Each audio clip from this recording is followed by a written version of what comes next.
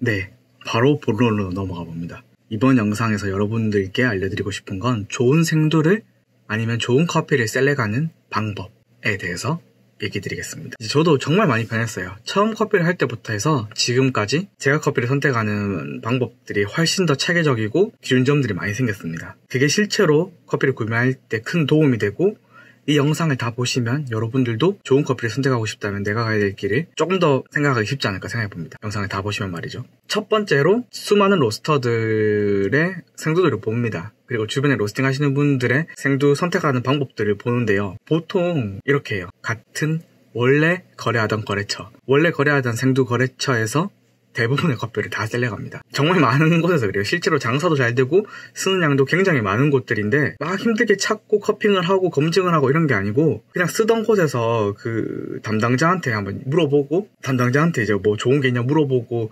만약에 쓰던 게 없어지면 그거랑 비슷한 게 뭔지 물어보고 그때 와서 조금 맛을 본다던가 어떻게 하고 커핑 커핑 하는 건 아닐 수도 있어요. 그냥 그거를 로스팅을 해보고 뭐가 뭐뭐 비슷하면 이제 쓰는 식으로 많이 하시더라고요. 참 그게 웃긴 것 같아요. 수많은 생도 회사가 있고 모든 사람들이 나한테 이제 이 커피가 좋다라고 막 시장에서 얘기를 하고 있는 상태인데 그것들을 완전 차단해버리고 한 업체에서만 그렇게 쓰는 게 과연 커피 quality에 좋을까라는 생각을 해봅니다.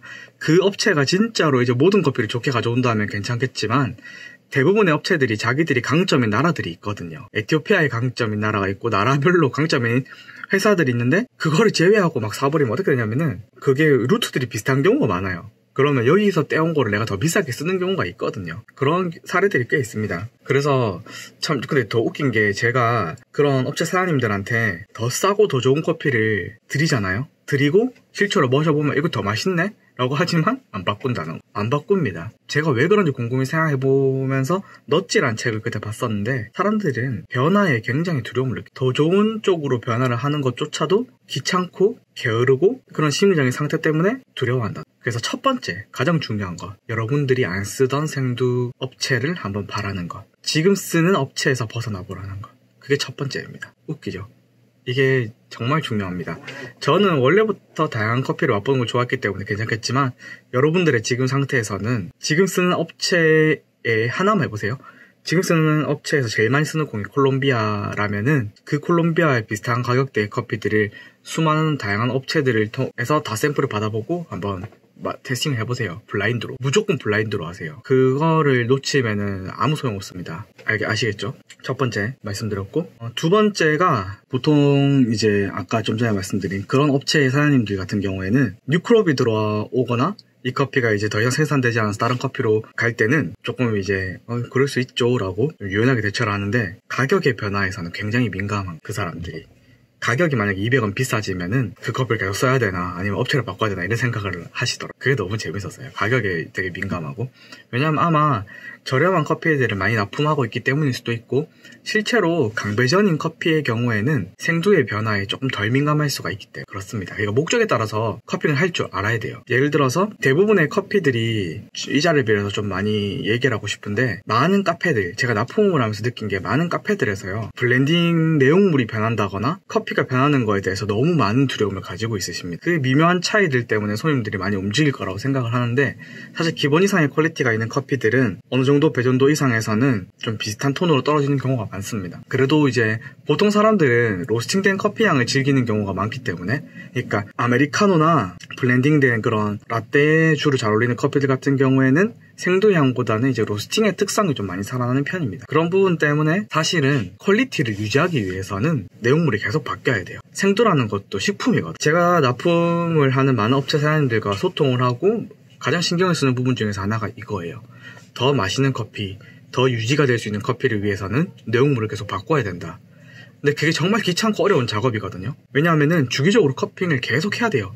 하면서 그 시기마다 들어오는 커피들을 미리미리 좀 알고 있어야 돼요. 예를 들어 1월에 어떤 커피가 들어오고 콜롬비아 커피는 계속 좀 유, 지될수 있도록 양을 보유하고 있고 이런 식으로 내가 쓰는 블렌딩 베이스에 쓸만한 커피들을 계속 데이터를 찾고 cupping을 하면서 유지를 해야 되는 거거든요. 유지라는 건 이렇게 되는 거예요. 그래서 어렵습니다. quality의 유지라는 건 특히 이제 중강 배전 이상의 납품용 커피의 quality 유지는 내용물이 변해야 quality 유지가 된다. 같은 커피를 계속 1년간 쓰는 거는 몇몇 나라는 좀 예외가 될 수가 있습니다. 1년 동안 어떤 quality를 유지하는 콩들이 있긴 한데 대부분 보관을 조금만 잘못해도 몇 개월 만에 야채 같은 향이 나는 커피로 변해버립니다. 저희도 그때 한, 깜짝깜짝 놀라요. 할 때마다. 저희가 쓰는 커피가 2, 3개월마다 이제 다른 업체에 들어온 커피들이랑 이래 cupping 테이블에 놓고 블라인드로 cupping을 하는데 예전에 2개월 전에 선택했을 때는 제일 좋았던 게 2, 3개월만 지나도 꼴등이 돼 있더라고요. 결과물을 볼 때마다 이게 소름이 돋아요. 그래서 제 생각은 그렇습니다. 안정적으로 쓴다는 건 똑같은 이름의 커피를 쓰는 건 내 심리가 안정되는 거고 실제로 커피 quality에는 그 내용물이 바뀔 만한 그런 데이터를 계속 가지고 있는 게 맞다는 것. quality control이라는 건 그런 것 같습니다. 좋은 인프라를 많이 가지고 있어야 되는 거죠. cupping에 대해서. 그런 겁니다. 좀 로스팅이 높은 커피는 생두의 특성도 물론 전달은 되지만 그게 30%라면은 로스터의 로스팅 machine의 성향이 이 커피에 더 많이 입혀집니다. 그게 이제 블렌딩의 주 개념이고, 그러니까 블렌딩의 개념이라기보다 이제 납품 메인 라인업이나 roasters들의 메인 블렌딩은 이제 그런 쪽으로 더 많이 설계가 되는 편이에요. 일정한 맛을 위해서는 생두보다는 로스팅에 초점 맞춰지는 게 더 좋고, 더 좋고 유리하거든요. 그리고 대중적으로 사람들이 더 좋아하는 편이고. 저희도 뭐 싱글을 많이 쓰고, specialty 커피를 주창하고 많이 주장을 하고 있지만, 납품에서 제일 많이 나가는 라인업들은 어쨌든 대중적인 커피를 많이 나갑니다. 대중적인데, 이제 매니아들도 좀 맛있게 먹을 수 있는 커피.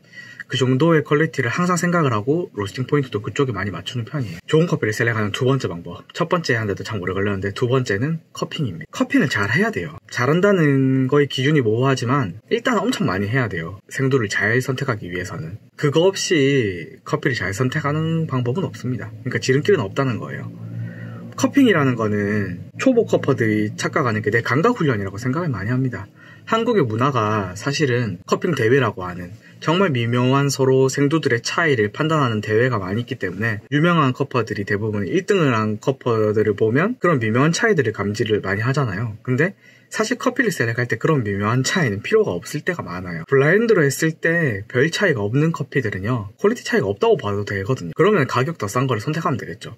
목적에 맞는 커피를 찾는 게 중요한 것이지 그런 미묘한 커피나 감각 훈련을 하는 게 cupping은 아니라는 게 제 생각입니다. 국내에 있는 수많은 green bean buyer들이 cupping 대회에서 수상한 경우는 정말 드물었거든요. 재밌는 사례도 꽤 많습니다. 저조차도 사실 triangulation이라고 하는 것은 그렇게 잘하지는 못해요. 그냥 평균 정도로만 하고 진짜 다른 거를 인지하는 것과 이 다름이 어떻게 연결되는지 어떤 것 때문인지 이 다름이 어떤 가치가 있는지가 저한테는 더 중요하거든요. 실제로 select할 때 그런 부분들이 참고가 많이 됩니다. cupping 초보들이 처음에 이제 하는 것들이 향미에 너무 집착하는 거. 이거 무슨 향이 나나 노트 다 적을 줄 알아야 되고 그런 거에 집착을 하는데 사실 향미라는 것도 그렇게까지 중요하지가 않아요. 이걸 공감하실 분도 있고 아닐 분도 있겠지만 제 생각은 그렇습니다. 향미라는 것을 많이 적고 막 이렇게 엄청 막 유창하게 cupping note 얘기를 하고 그게 중요한 건 아닌 것 같아요. 하면 할수록 더 그렇게 돼요. cupping note는 하면 할수록 더 간결해져요. 간결해지지만 쓰자면은 끊임없이 쓸 수가 있게 되는 거죠. 물론 그런 이제 가치가 있는 커피에 대해서. 왜냐하면 향들은 다 연결되어 있고 쓰자면은 막 연결 연관 짓자면은 끝도 없어요. 앞으로 여러분들이 바라볼 길은 너무 향미에 집착하지 말까. 그 부분을 좀 알려드리고 싶습니다. 좋은 생두를 구한다는 건요. 나라별로 내가 다양한 커피들을 쓸 줄 안다는 거기도 해요. 그 시기를 알고 시스템을 알고 커피 전반적인 흐름을 안다는 것이 더 중요할 때가 많습니다. 그냥 내가 늘 하던 커피들로 감각 훈련을 하고 그냥 내 매장에서 cupping을 하고 직원들과 cupping을 한다고 해서 해결될 문제는 아니에요. 다양한 업체에 가서 cupping을 해보고 business cupping을 해보고 내 교육을 위해서 cupping을 하면서 성장을 해서 어느 정도의 cupping skill이 확보가 되면 정말 어마어마한 날개를 달게 되는 거예요. 제가 장담하건데 여러분들이 앞으로 더욱 좋은 로스터나 cupper가 되고 성장을 그 자기 회사를 성장하기 시키기 위해서는 cupping skill이 정말 중요해져요. 제가 만약에 어떤 직원을 뽑는다면은 그런 마인드와 그런 지식이 있는 직원을 뽑을 것 같습니다. 그런 기준들이 되게 많아요. 예를 한번 들어보자면요. cupping을 할 때 아까 초반에도 말씀드렸지만 게이샤 커피의 뉘앙스를 안다던가 그러니까 게이샤 커피만 매년 똑같은 업체에서 그러니까 에스메랄다 게이샤를 auction 샘플을 받아서 매년 3년 정도 체크를 해보는 거예요. 그리고 이 게이샤 커피와 다양한 나라의 커피를 체크를 한다던가 국내에는 좀 좋은 교육 방법이 있는데 커피 리브레의 생두들을 매년 체크를 해보는 것도 꽤 재밌습니다. 똑같은 커피가 많이 들어오거든요. 커피 리브레에는. 그래서 매년 들어오는 그 커피들을 나라별로 커핑을 해보면서 올해 퀄리티는 어떻게 어떻게 되고 언제쯤에 이 커피들이 들어오는지에 대해서 감을 잡는 거죠. 제가 첫 해 커핑을 첫 해, 첫 해 했을 때 그 시기별로 계속 많은 커피들을 마셔봤었는데 첫 해에는 그게 감이 안 오더라고요. 언제 뭐가 들어오고 언제 언제 뭐가 들어오고 대비를 못 하는데 두 번째 해부터 이제 기다리고 있어요 미리. 아 콜롬비아 지금 들어올 때 됐네, 에티오피아 들어올 때 됐네, 코스타리카 들어올 때 됐네, 엘살바도르 들어올 때 됐네 이런 것들을 머릿속에 착 scheduling 해놓고 그거에 맞춰서 미리 미리 확보를 해두게 돼요. 그게 이제 정말 중요합니다. 예를 들자면은 에티오피아 커피는 1년에 natural washed를 두 가지를 select해야 되는데 굉장히 중요한 바탕이 됩니다. natural washed는 너무나 다르고 그 어떤 나라에서도 대체가 안 되는 게 에티오피아 washed와 natural이고 이 두 가지 커피를 select할 때 저희는 거의 사활을 걸어서 굉장히 집중해서 데이터를 많이 쌓아놓습니다. 여러분들이 하는 실수 중에서 하나가 돈과 이제 돈이 많으면은 돈이 많고 내가 쓸 양이 예상이 된다면은 충분히 많이 사놓으면 되지만 생두에 있어서는 여러분들께 또 하나 추천드릴 만한 게 항상 모자라게 사야 됩니다. 넉넉하게 샀다가 피 보는 경우가 정말 많거든요. 그래서 추천드리는 방법이 예를 들어서 에티오피아 워시를 셀렉한다 그러면은 선택지를 3개 정도는 마련해 두세요. 제일 좋았던 거. 그러니까 저희가 보통 한 해에 에티오피아 커핑을 하면 국내에 들어오는 대부분 업체의 에티오피아 샘플링을 다 해보는 편이거든요. 몇 년간은 그렇게 했었어요. 그렇게 하고 난 다음에 제일 좋았던 거 몇 가지 이렇게 엑셀 파일이나 이런 저희 구글 데이터베이스에 다 놔둬요. 놔두고 그 중에서 제일 좋았던 거를 select해서 최대한 많이 쓰는 거죠. 1년 동안. 목돈이 없는 roaster들은 어쩔 수 없어요. 계속 그렇게 개미처럼 사서 써야 돼요. 그 업체에서 한 팩씩 한 팩씩 사서 쓰다가 그게 sold out 되면은 2안으로 가고 그게 없어졌을 때 3안으로 가고 이런 데이터가 있는 게 이제 cupping을 잘한 거죠. 미리 최대로 효율적으로. 그런 식으로 cupping을 하는 게 좋습니다. 근데 잘하게 되면은 나중에 좀 쉬워져요. 업체별로 이제 잘하는 커피들을 알게 되니까 계속 구매를 하다 보면 업체에서 먼저 연락이 옵니다. 그럼 이것만큼 편한 게 없죠. 그래서 그런 기준점이 좀 생겨요. 게이샤 성향이 나오는데 얼마면은 사도 돼. 에티오피아 커피인데 이 정도 점수 되면 사도 된다. 이게 자기만의 기준이나 업, 자기 업체의 어떤 구매 기준이 생기면은 그때부터 이제 결정이 빨라지는 거죠. 그러니까 첫 번째 아까 말씀드린 게 기존 쓰는 업체에서 벗어나라. 두 번째가 커핑을 잘해야 된다.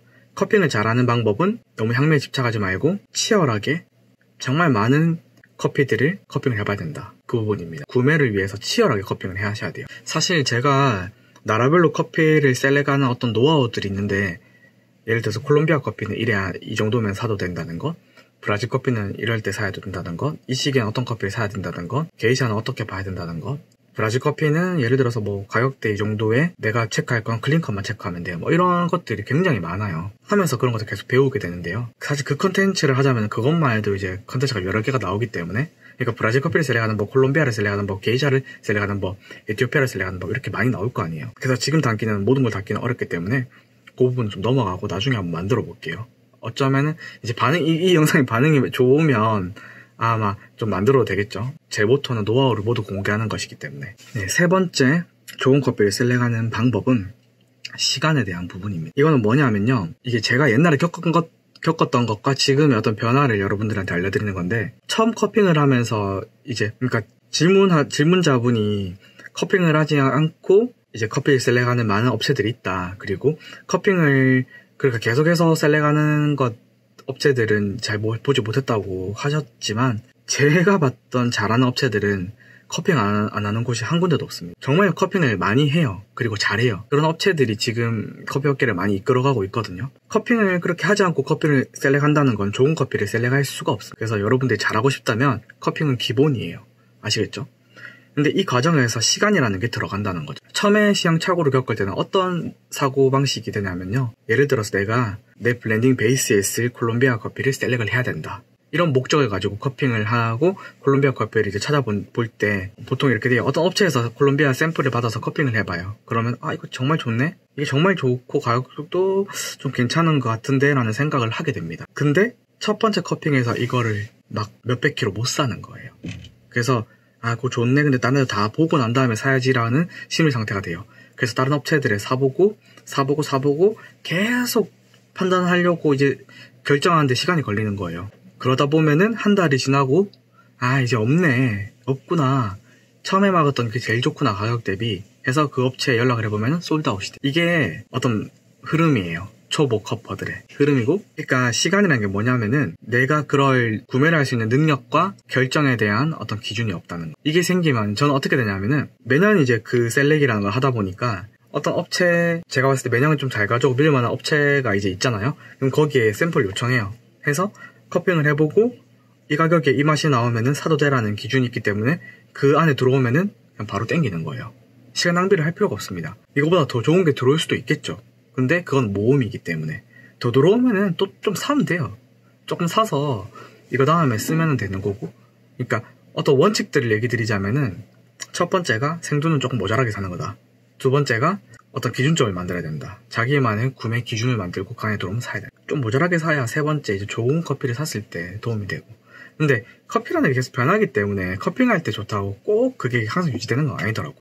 그리고 이 시간이라는 것에 대해서 또 하나 얘기를 해보자면 아까처럼 그렇게 될 수도 있는데 이제 blending 라인업이나 이런 거 말고 한 번씩 들어오자마자 sold out 되는 커피들이 있거든요. 하다 보면 그게 생겨요. 이제 여러분들도 좋은 커피를 어느 정도 양 이상 계속 구매를 하다 보면 납품업 그 생두업체나 이런 쪽에서 소스가 와요. 이번에 뭐 어떤 좋은 커피들이 들어오는데 이 리스트에서 그거를 이제 가져와서 cupping을 해보고 구매를 할때 되면 사라지는 커피들이 정말 많거든요. 근데 그렇게 놓치고 놓치다 보면 좋은 커피 살 게 아무것도 없게 돼요. 그래서 그럴 때 여러분들의 데이터가 중요해지는 거. 제가 질문을 한번 해볼게요. 콜롬비아 코리브리 게이샤 그리고 에티오피아 일로바보르 게이샤, 에티오피아 1931 게이샤, 파나마 어, 에스메랄다 게이샤 1500. 이 네 가지 중에서 여러분들이 맛보지 않고 살려, 사라고 하면 뭘 사겠습니까? 가격은 똑같아요. 8만원 정도. 뭘 사시겠습니까? 이런 거예요. 이게 바로 데이터의 힘이에요. 데이터와 어떤 커피의 맥락을 그 전반적인 지식을 계속 공부하는 사람과 그냥 맹목적으로 cupping을 하거나 커피를 했던 사람의 차이라고 봅니다. 물론 이 데이터로 구매를 해서 실패를 할 수도 있어요. 근데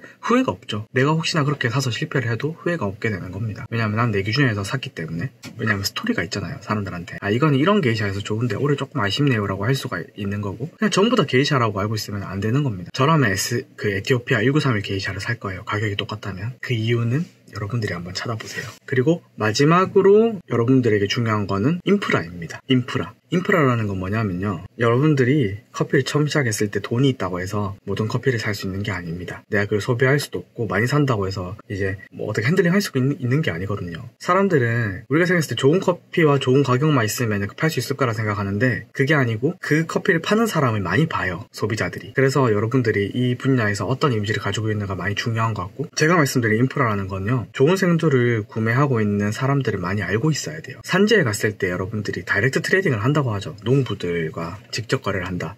근데 그런 사례가 많이 없습니다. 산지에 가보면 대부분 exporter들이랑 거래를 하게 돼요. 익스포터들은 이제 어떤 회사가 있고 수출 회사죠. 그 회사에 이제 수많은 농부들이 연결이 돼 있어요. grower들이라고 하고 농부들이랑 직접 거래를 하는 게 아니고 이 exporter들이랑 결호, 그 거래를 하게 되는데 좋은 exporter를 알고 있는 게 이제 어떤 인프라가 되는 겁니다. 근데 참으로 무서운 게 커피 업계에서 점점점 이제 이렇게 성장을 하고 어떤 커피를 찾다 보면은 정말 좁아요. 결국에는 서로 마주치게 되고 내가 어떤 실수를 조금 하게 되면은 낯뜨거운 상황이 많이 발생을 해요. 저 사람이 이제 뭐 별로 안 될 것 같아서 내가 좀 무시를 했었는데 그 사람이 잘 되는 경우도 있거든. 사실 저한테도 그런 사람이 있어요. 제가 저는 사실 사람 무시를 잘 안 하려고 하지만 저를 무시한 사람 많았고 그렇게 그러니까 어떻게 보면 좀 함부로 했다고 볼 수도 있는데 그 사람은 아마 제가 이렇게까지 좀 성장을 할지는 몰랐을 거예요. 근데 그러니까 뭘 성장한 것도 아니에요. 잘한 사람이 얼마나 많은데. 그래서 여러분들도 커피 업계에서는 항상 조심하셨으면 좋겠습니다. 겸손하고 내가 커피를 얼마나 잘하든 못하든 잘해봤자 뭘 잘하겠어요. 커피라는 게 어쨌든 결국 사람을 보고 하는 거고 그런데 그래서 인프라라는 거는 결국 사람에 대한 얘기입니다. 내가 이 사람을 알고 저 사람을 알고 모든 사람들에게 어떻게 했을 때 가질 수 있는 것들이 분명히 존재합니다. 내가 이 사람을 알아서 살 수 있는 커피들이 많거든요. 지금 저도 그렇게 해서 구매를 하는 커피들이 반은 된다고 봐요. 이 사람과의 관계를 통해서. 그게 없으면 구매조차 못하는 것도 많아요. 저는 근데 그런 좋은 창고가 되기 위해서 그런 사람들을 통해서 찾은 커, 커피들을 이제 데이터로 select을 하고 거기서 cupping을 해서 검증을 하고 micro roaster들에게 많이 나누는 그런 커뮤니티 카페를 지금 많이 운영 을 하고 그걸 플랫폼화해서 세계의 수많은 커피들이 한국에 많이 들어오고 micro roaster들이 좀 더 좋은 가격에 쓸 수 있는 그런 플랫폼을 만들어 보고 싶습니다. 지금 제가 하고 있는 게 그거고 여기 네이버 카페에서 공동 구매를 주기적으로 하고 있어요. 이 공동 구매는 아마 일반적인 생두 회사에서 사실 수 있는 커피가 아니고 산지의 그 익스포터들과 연관된 사람들의 커피들을 저희가 많이 하거든요. 예를 들자면 게이샤 빌리지라거나 오로 그 이번에 아, 오로라 프로젝트 이런 것들 해서 가져오는 커피들인데 tasting 해보면 꽤 좋은 게 많습니다. 근데 사실 저희가 공동 구매 올리는 거는 제가 살 것들을 많이 올리거든요. 그러니까 17개 중에서 두 개만 올린다던가 하는데 이 두 가지는 저희가 살 것들이 저희가 살 때 저희가 양이 조금 되면은 같이 사는 식으로 해서 많이 가져오는